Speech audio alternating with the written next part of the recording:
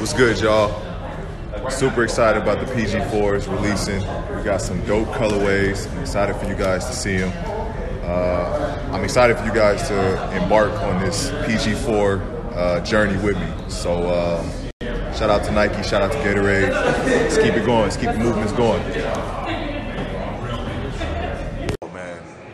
Russell means way more than I did in Oklahoma, um, and I got to stand in those. So, um, you know, I expect uh, you know nonstop cheering, nonstop um, appreciation um, for what he did. I mean, you know, not only was he an amazing basketball player for them, and, and you know, embraced their community, but you know, he just did so much stuff in that community outside of basketball. And, um, you know, if anybody knows Russ, he's very hands-on. Um, you know, he's he's all the way in, nonstop, and so.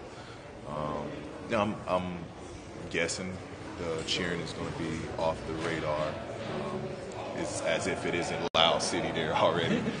Um, but you know, he deserves it. He deserves to get you know nothing but